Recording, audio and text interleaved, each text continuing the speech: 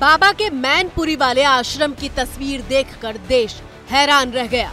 ये नारायण साकार हरि का वो पहला पाताल लोक है, जहाँ हाथरस हादसे के बाद उसे पुलिस सबसे पहले ढूँढने पहुँची थी। तस्वीर देखिए, जो आश्रम नहीं, बल्कि एक सफ़ेद, आलिशान महल जैसा दिख रहा है। चमचमाता हुआ दरवाज़ा ऐसा कि मानो उस पर सोने का पानी चढ़ाया हुआ हो। एबीपी न्यूज़ संवाददाता रविकांत मैनपुरी में मौजूद थे और बाबा के मैनपुरी वाले पाताल लोक की हर तस्वीर दिखा रहे थे। हर आकार के होर्डिंग, यहाँ पर ये एक इस तरीके के कई सारे होर्डिंग्स हैं। एक के बाद एक यहाँ पर लगे हुए हैं।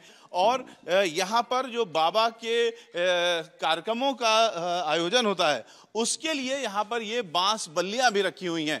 ये वो बैकअप रूम है जिसे स्टोर रूम की तरीके से भी इस्तेमाल किया जाता है और जो मैन पावर है, उसको यहाँ पर रुकाने के लिए भी इस्तेमाल होता है और यहाँ पर उनके कार्यक्रमों से संबंधित मीटिंगें भी होती हैं जो उनके कर्मचारी आपस में करते हैं।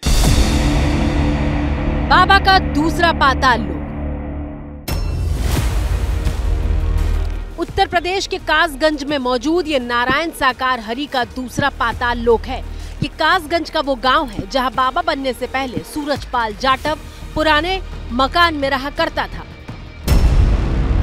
और अब उसी गाँव में सफ़ेद महल बना लिया है, जहाँ भले ही गेट पर ताला लटका हो, लेकिन सेवादार हर शिफ्ट में पहरेदारी के लिए तैनात रहते हैं।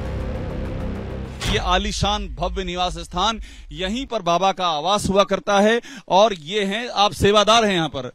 सेवादार। जी नारायण शाह ही परमात्मा सेवादार। भैया। अच्छा तो आप जूता पहन के बताइए। तो आ, हाँ तो आप ये अ, हाँ पीछे रह रहे हैं। ये लाल रंग की पट्टी है इसके पीछे रह करके बात करनी ये हमसे कह रहे हैं। इस पट्टी के पीछे बात करें। कब से यहाँ पर हैं आप?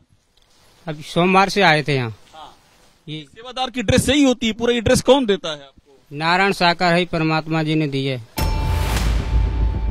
हर सेवादार बाबा को परमात्मा कह रहा था और सम्मोहन का असर ऐसा कि वो बाबा पर होने वाला एक सवाल भी नहीं सुन सकता। यहाँ भी साफ़ लिखा था, वीडियोग्राफी तो क्या वीडियो कॉल तक की इजाज़त नहीं है।